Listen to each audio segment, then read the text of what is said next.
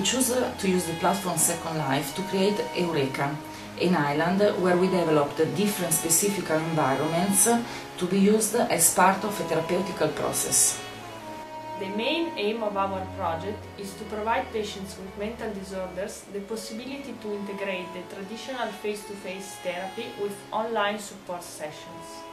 As described by different studies, the high sense of social presence elicited by avatar interactions suggests different clinical applications we explore the possibility to provide online virtual reality-based treatments during which the patients and the therapist meet each other and communicate in a virtual office.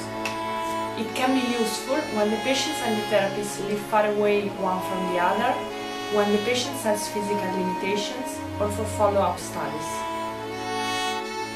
We explore another approach regarding the creation of online virtual communities of patients to learn how to improve living habits share experiences, and practice both emotional and relational management, general decision making, and problem solving skills. Interreality is achievable through the combined use of online 3D virtual worlds and different portable devices, such as biofeedback instruments, PDA, and cell phones.